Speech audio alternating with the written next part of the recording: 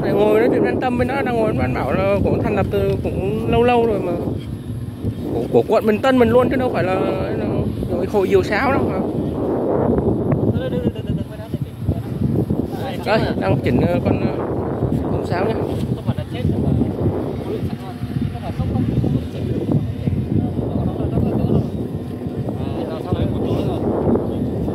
Coi như là lấy ờ, một một sợi dây cử chết còn một- cử một bên cử sống uống đâu trong kia mà trong kia video á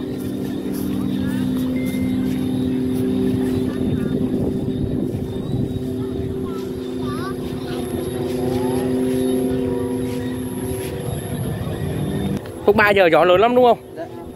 Tôi, tôi, tôi, tôi đứng tôi thấy 8 con lên mà. Má nghe nguyên bầu trời toàn sáo không? Nhà chú gần đây à? Ừ má nghèo nguyên bầu trời toàn sáo.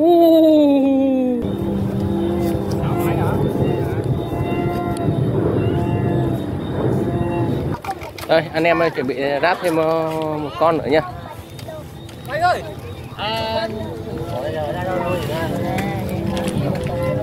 đang ờ, chuẩn bị ráp thêm một con ờ, diều sáo nữa. Nay quy tụ rất nhiều diều sáo nhá con nào sải cắn trên 4 mét hết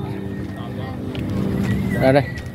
Nghe mẹ này bốn mét rưỡi Đó, ý là quy tụ trên con trên 4 mét. con này xuống á bên này nhỏng cao hơn này. Con. Đấy, con này đang chuyển với mì xuống. Bộ sáo bên này nhỏng cao hơn nhiều đúng rồi. Chưa? Chưa bên này xuống nhiều quá. Bên xíu nữa xíu nữa. Rồi. Con này sải cắn 4 mét rưỡi. 9 ống sáo. Ống sáo dài nhất là 90 70 60 50 40 20 10 5 phân. Đang ờ, công đoạn chỉnh ờ, ống sáo. Cố định. Công đoạn này không thể bỏ qua được. Chỉ có mấy anh em chiêu nhiều sáo đây. À, đây là anh em của hội ờ, bình sáo của quận Bình Tân của chúng ta nha các bạn nhé. À, diều sáo này cũng có một cái hội của Bình Tân có giấy phép thành lập hội diều sáo đàng hoàng nha các bạn nhé. Của quận cấp đàng hoàng. Anh em nào có đam mê diều sáo thì ra bãi diều này, anh em kết nối. Mấy mét anh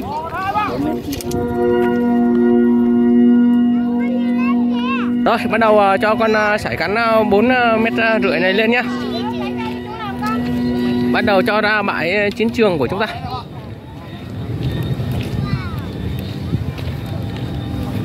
Rồi, chuẩn bị ờ, chúng ta cho chú này cất cắn nhá lên nay chiều nay gió rất ờ, wow, nghe tiếng sáo đạo cái một rồi lên oh. các bạn nghe tiếng sáo đạo không?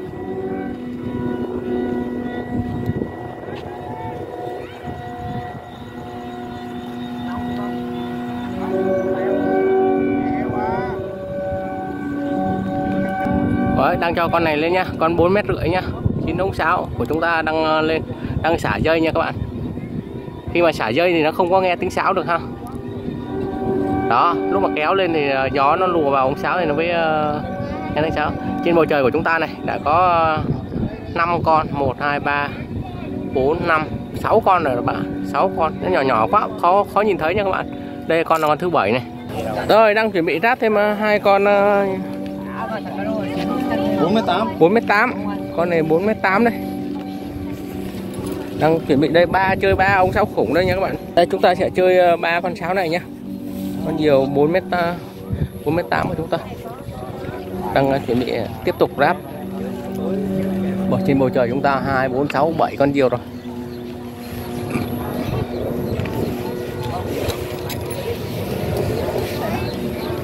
Đây anh Quang, ăn chủ nhân của con này. Đang chuẩn bị nhá. Con này đã xong rồi.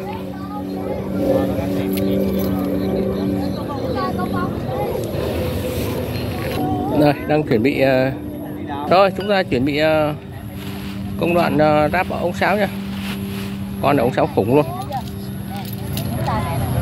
Rồi công đoạn các bạn nhìn thấy đang đam ống sáo khổng lồ cũng rất nhanh đam ống sáo rất nhanh chứ không có gì mà công phu, tại vì nó có cái cử sẵn rồi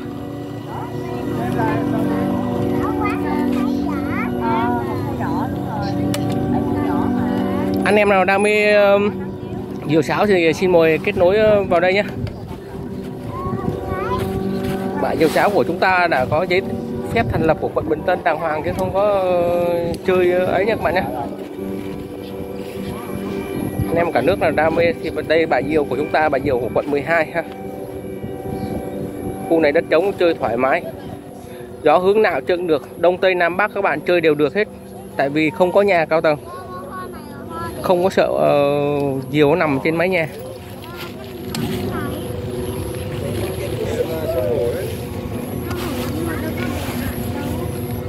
Đấy, công đoạn ờ, định vị ờ, ống sáo khủng của chúng ta.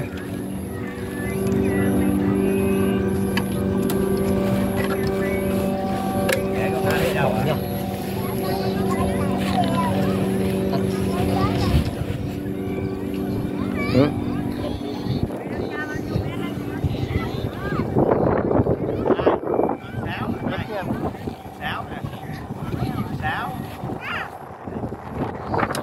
Lớn rồi ạ. Ờ, ở bên ờ, ở bên phan nhân thớn á ngay bên mình nhìn qua nhưng mà đi qua bên kia Rồi, công đoạn ờ, chỉnh nhiều của chúng ta mấy ống sáo đã tương đối hoàn thiện. Ống sáo khủng này phải chỉnh cho nó tương nó phải thật cân thì nó lên nó không đảo nhiều nhá. Rồi đang công đoạn là chỉnh tí dây leo nhá. Các bạn nghe chưa? Gió chưa? Mới có nghe, nghe một cái mà gió nó rú này đó đã. Rồi công đoạn à, cuối cùng cột cái sợi dây định vị à, ống sáo và căng chỉnh à, cái đuôi cho nó theo độ cong như ý nhá.